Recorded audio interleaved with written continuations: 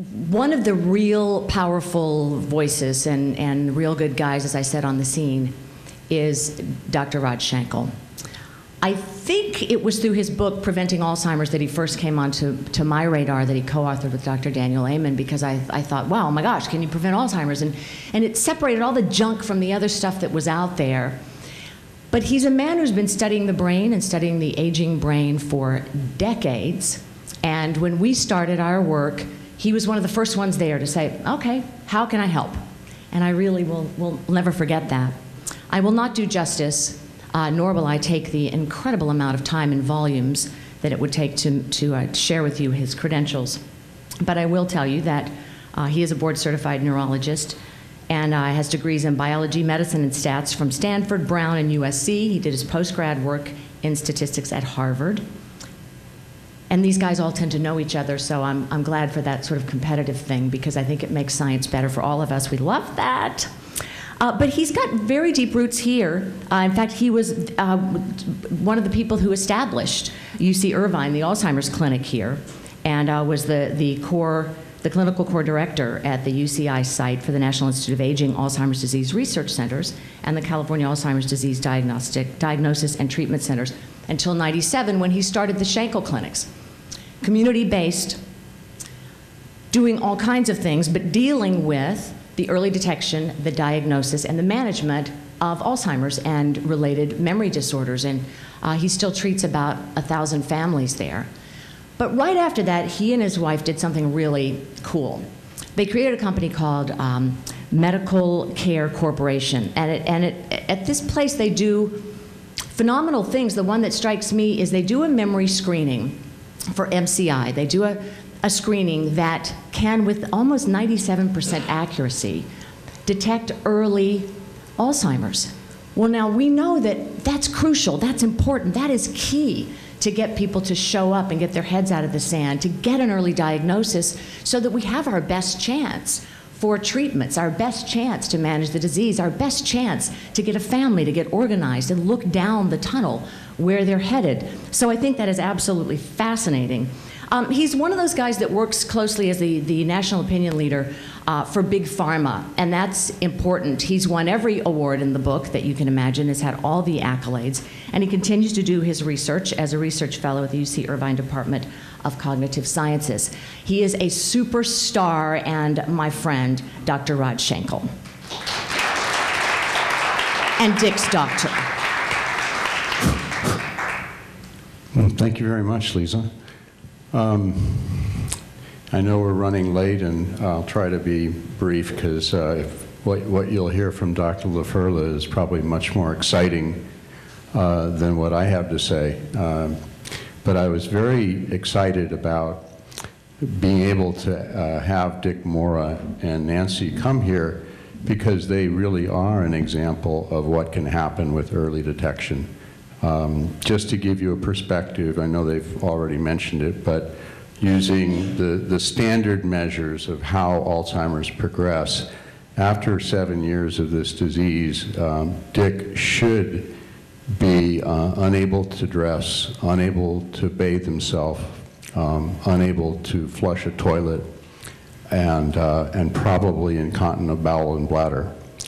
So the fact that he could stand here today, I think anybody in the audience who's had a family member with Alzheimer's, um, the, your jaw might have been dropping to, to see him be able to sit here and talk to you today. I think that's very important, and what you're doing is critical. I mean, the scientists like Dr. LaFerla and the clinicians like myself are nothing without the support that you as a, as a team are, are generating and producing.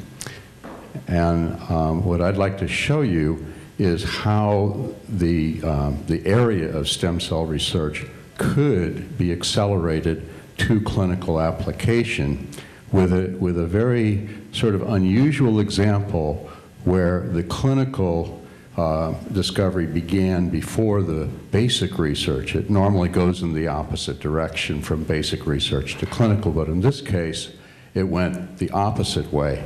Um, that's a whole story in and of itself, but um, what I would like to show you is how that story developed and where we can go from here as a, as a team. Um, there is quite a, an abundant now amount of evidence supporting that new neurons can form in the human brain anywhere from birth uh, on through uh, late adulthood. Uh, initially, uh, my colleagues and I showed a doubling of the number of neurons in the cerebral cortex uh, back in 1993, first published in 98. Uh, this was from birth to six years old. Uh, subsequent discoveries showed uh, that if you take uh, tissue from epileptics or patients uh, who have had a neurosurgical procedure, that you can actually harvest neuron, uh, cells, stem cells, and grow new neurons from humans, adult humans. And um, following the, the discovery of uh, new neuron formation in the cerebral cortex, uh, fellows such as Fred Gage and uh, Elizabeth Gould and others showed that the hippocampus in adult humans also generates new neurons and that that has had a, a major focus of research uh, since the uh, late 1990s. Um, Jim Fallon, a professor of neuroanatomy at UC Irvine, has developed um, animal models using stroke and Parkinson's disease. And one of the interesting things about this is that when you inject uh, a growth factor called TGF alpha or transforming growth factor alpha, that you can generate millions of new neurons. And they, I don't think this uh, pointer is very good, but the, the basic idea is that these new neurons, they only go to the area where there's damaged brain. they convert into the type of neuron that was lost, and um, they restore uh, function to a large degree.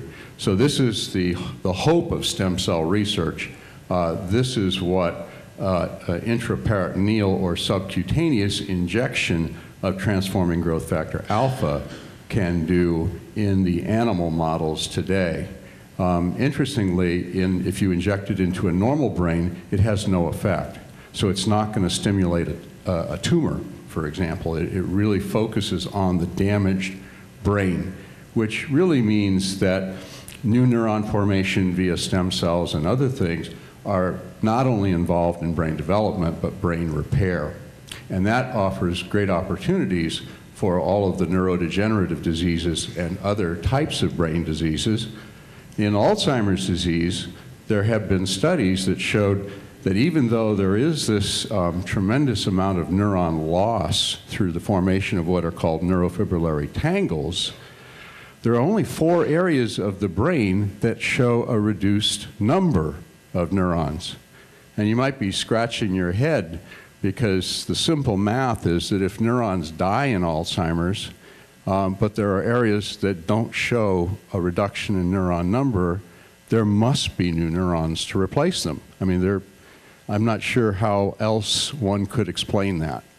And so um, there is this at least uh, hypothetical evidence that the brain is attempting to uh, maintain by generating new neurons to replace the ones that are dying and have died.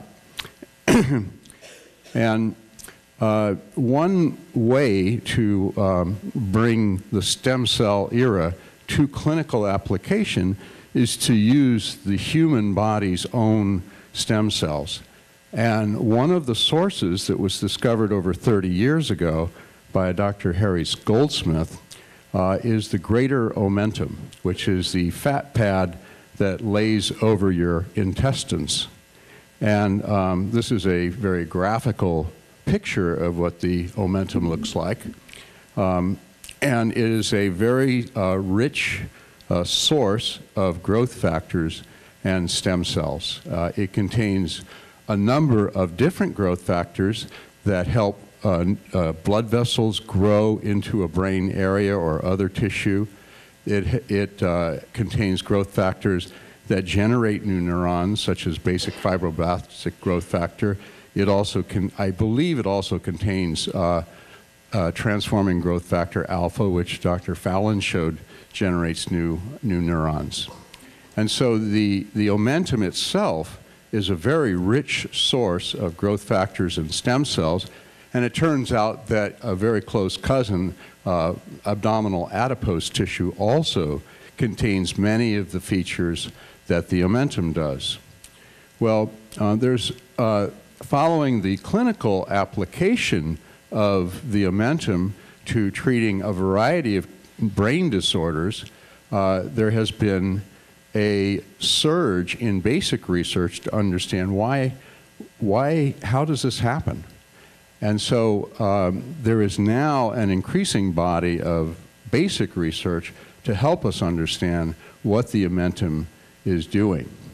Uh, this is probably the first really exciting application of omental therapy in which Dr. Norm Relkin at Cornell uh, operated uh, or had the omentum placed onto uh, Charles Scribner of Scribner Publishing. And uh, Mr. Scribner's uh, brain activity, as you can see uh, on the upper bar graph, showed increases in the areas where the omentum lay and very little change on the lower bar graph on the other side of the brain. And in addition to that, you can see on the, uh, the left panel, um, there were no plaques of Alzheimer's disease in Mr. Scribner's brain at autopsy, except for in areas where the omentum was not touching the cerebral cortex. So there was some promise there that, that the uh, omentum has the capacity to actually remove or somehow get rid of uh, the pathology of Alzheimer's disease. Um, this actually stimulated um, a, a, a, uh, further clinical trial uh, in which uh, approximately six patients were operated on with uh, omental transposition to the brain. And um, of the six patients, four of them showed uh, either improvement uh, above their baseline or they did not fall below their baseline for 3.4 years. Uh, in addition, there was one patient with primary progressive aphasia, which is an untreatable neurodegenerative disease.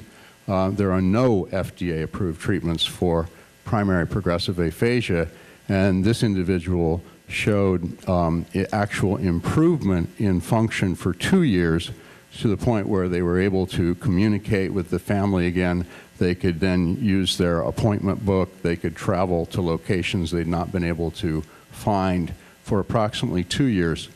And um, these are simply uh, pictures of the activity of the brain, and you can see the yellow and red areas are areas of 20% um, or more increase in brain activity uh, underneath the hemisphere which had the omentum placed onto it.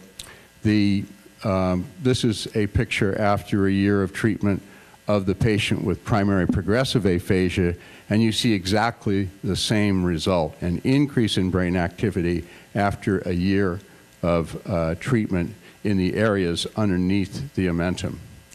Well, um, the omentum has been applied in a number of different brain disorders over the past 30 years, and predominantly in the areas of stroke, um, Alzheimer's disease, and in one case of complete spinal cord transection. And as many of you know, there is no, uh, people with a complete transection of the spinal cord remain para, uh, quad, uh, paraplegic and uh, usually have no bowel or bladder control. This patient, um, with uh, the omentum wrapped around and a tunnel uh, to fill the gap, a collagen tunnel to fill the gap between the transected portions of the cord has actually regained continence and walks with crutches.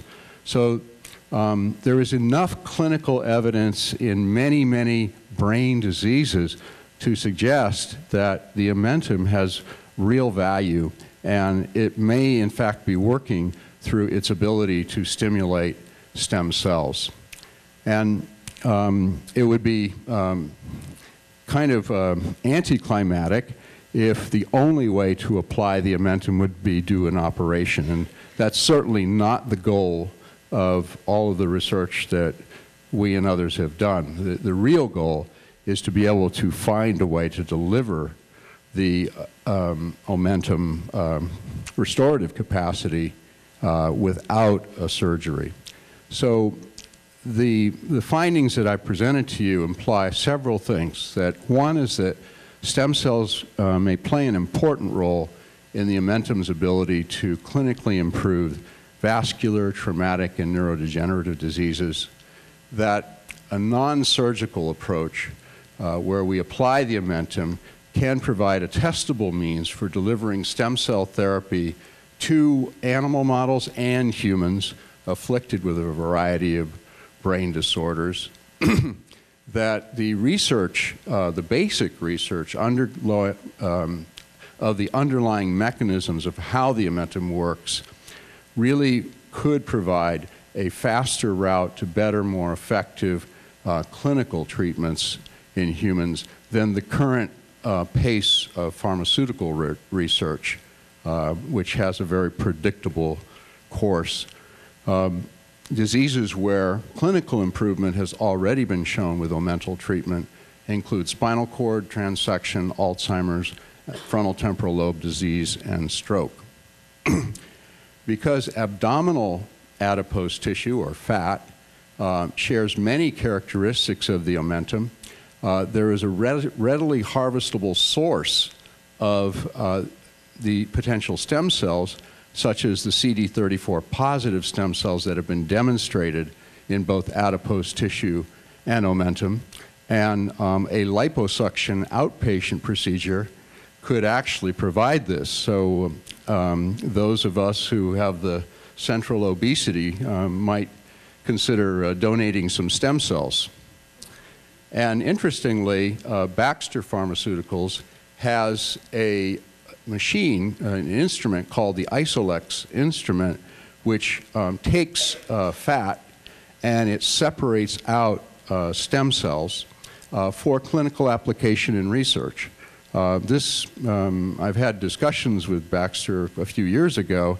I, I, don't know if anything has developed from that, but perhaps um, a group that's focused on stem cell re research with some, uh, a little bit of a push could actually get uh, this avenue of clinical and basic research moving forward faster to develop clinically useful treatments. And I think with that, um, I will stop and thank you very much for your attention.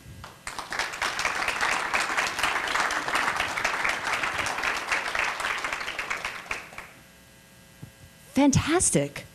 So when you go in for the lipo, it's not vanity. You are really furthering medical science. You have to have it. That's just absolutely fantastic. Thank you so, so much.